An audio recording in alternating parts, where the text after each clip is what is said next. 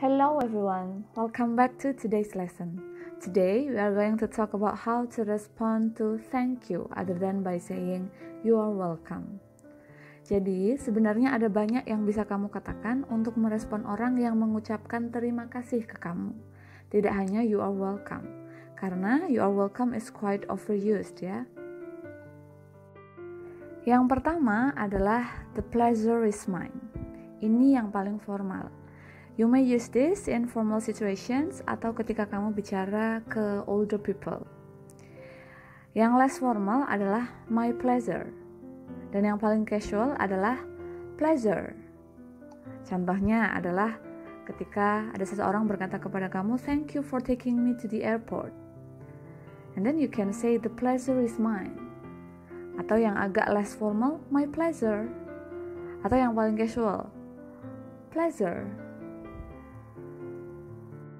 Yang kedua adalah it was the least I could do.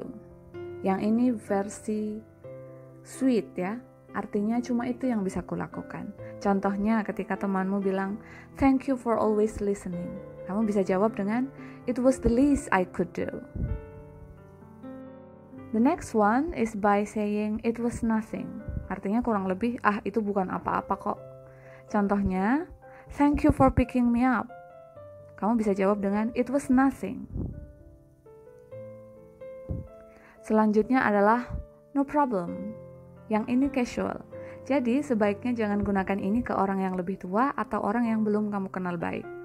Contohnya dalam kalimat thanks for helping me today. No problem, I enjoy helping you. Yang kelima adalah don't mention it. Itu bisa kamu katakan kalau kamu merasa itu bukan sesuatu effort yang susah bagimu untuk menolongnya. The example is, thank you for taking care of my cats. Well, don't mention it. The next one is anytime. Ini juga casual. Contohnya, thank you for coming. Anytime. Kemudian adalah no worries. No worries juga informal atau casual, jadi perhatikan ketika menggunakannya ya. Contohnya, thank you for helping me with this. No worries. Yang ini biasanya digunakan di business context, yaitu adalah I'm happy to help. Contohnya, thank you for explaining patiently. Kamu bisa jawab dengan I'm happy to help.